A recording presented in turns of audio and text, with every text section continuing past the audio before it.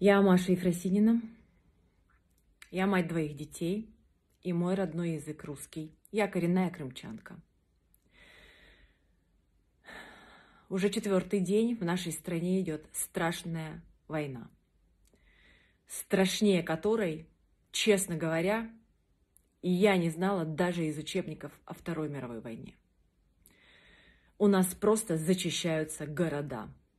Судя по тому, что до сих пор я не получила ни одного звонка, сообщения, слов поддержки от своих самых близких родственников, которые у меня остались вообще в этой жизни, моего родного дяди, который живет в Питере, моей родной тети, которая живет в Керчи, в Крыму.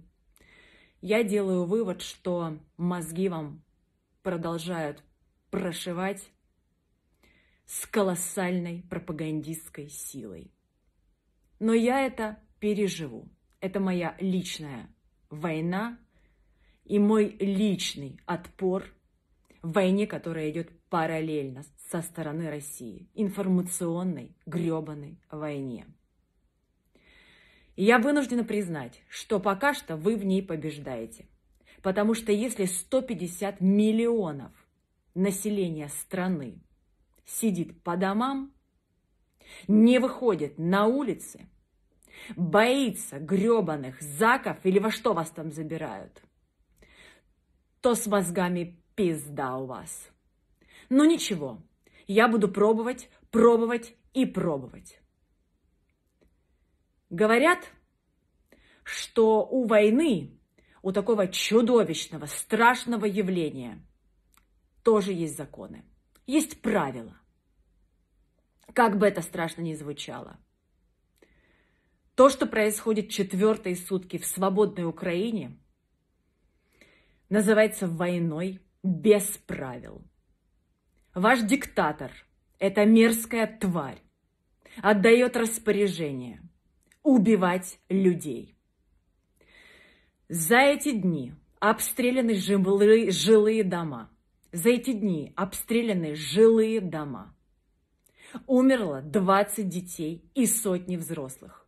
Тысячи ранены. Обстрелы ведутся из ракетных установок. Ваш мерзкий тиран с забальзамированной рожей, по которой соскучился мавзолей ваш ебучий, нарушил даже правила переговоров – Сегодня начались мирные переговоры. И мы молились, что это будет хотя бы 7 часов затишья, но, видимо, нет. Ему, сука, нужен фон. И пока наши делегации разговаривали, было зачищено два украинских города. Просто снесли нахрен с лица земли.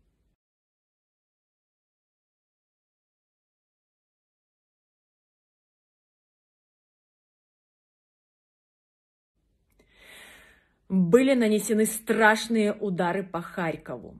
Разрушена половина города. У людей отрывало руки и ноги. Отрывались конечности у стариков. Дети погибают.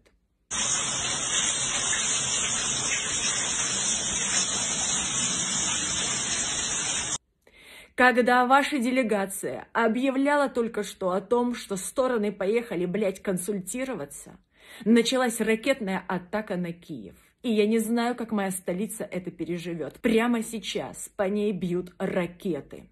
Ракеты, которые способны уничтожить даже бомбоубежище. Очень много ракет. Очень близко ракеты запускают.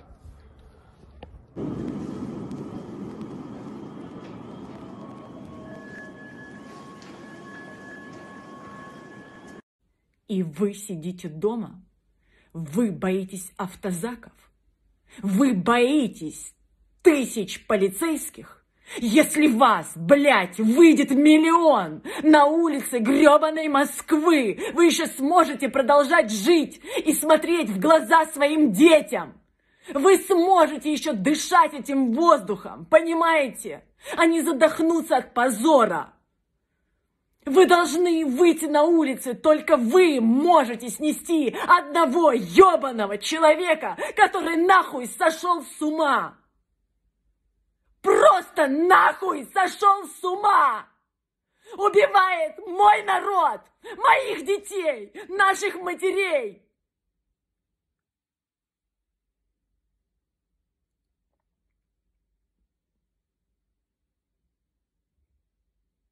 Я все знаю про угрозы. Мне пишут артисты. Мне пишут артисты, что им угрожают каждому. Я видела скрины, как всех обещают посадить в тюрьму. Как несутся головы, программы, спектакли, концерты тех артистов, которые выступил. Я вижу, я знаю, что это страшно. Но вы уже под колпаком. Из него откачивается воздух. Вам такой же конец, как и нам. Вы разрушаете мою страну, которая вас не просила. К нам вообще нахрен приходить. Я говорю по-русски всю свою жизнь, видите? Жива. Наши нацисты меня не убили и не тронули. А вы меня убиваете. Выходите на улицы. Миллион человек справится с горсткой полицейских. Справится! Мы справились в 2014 году, и вы справитесь. Бейте, отстаивайте свое право жить, отстаивайте свое право быть не зомби, а людьми свободными. Сегодня разослали по школам методички, и вашим детям с 1 марта рассказывать будут, как оправдывать действия великого Владимира Путина, которые он сотворил в Украине, которой, сука, не существовало. Посмотрите на ваших детей и посмотрите на наших детей. Выходите на улицу!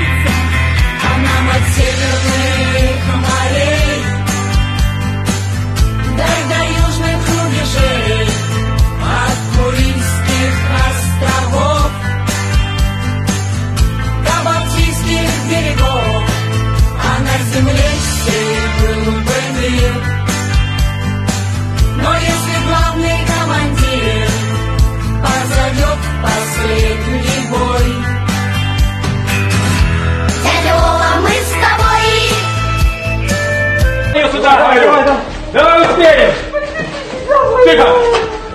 Держись. Погнали. Не, не, не.